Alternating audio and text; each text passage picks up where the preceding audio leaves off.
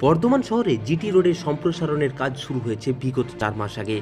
উল্লাস মোড় থেকে নবাবহাট পর্যন্ত দশ কিলোমিটার জুড়ে রাস্তার চওড়ার ক্ষেত্রে প্রশাসন প্রত্যেক ব্যা- ব্যবসাদার ও বাসস্থানকারীদের নোটিশ করেছেন এবং ক্ষয়ক্ষতির জন্য উপযুক্ত প্রশাসনের পক্ষ থেকে টাকাও দেওয়া হয়েছে। সম্ভবত আজ ভোরের দিকে নবাবহাটের দিকে এখনও পর্যন্ত রাস্তার ধারে যেসব অবৈধ দোকানপাট ছিল সেগুলো গুঁড়িয়ে দেওয়া হয়েছে।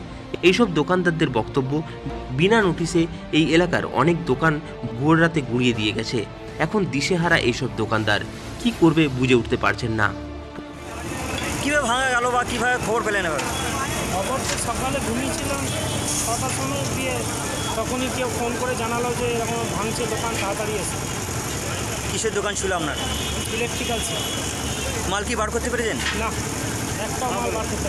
কত টাকার মাল আপনার ক্ষতি হয়েছে? প্রচুর টাকা। কি করবেন? কী আর করব?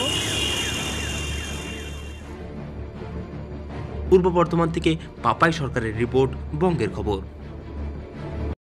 বড় স্কুলের আঙিনায় আপনার শিশুর সুন্দর ভবিষ্যতের ভিত করতে বিষ্ণুপুরে এসে গেল কিডস বার্ড স্কুল। এখানে পড়াশোনার সাথে সাথে ক্রেশ ও ড্রেবোর্ডিংয়েরও ব্যবস্থা আছে। ভর্তি চলিতেছে। অ্যাডমিশন সংক্রান্ত বিশেষ তথ্যের জন্য আজই যোগাযোগ করুন। বাইপাস, ভগৎ সিং মোড়, Bishnupur. Mobile number eight zero one six five one nine two seven seven.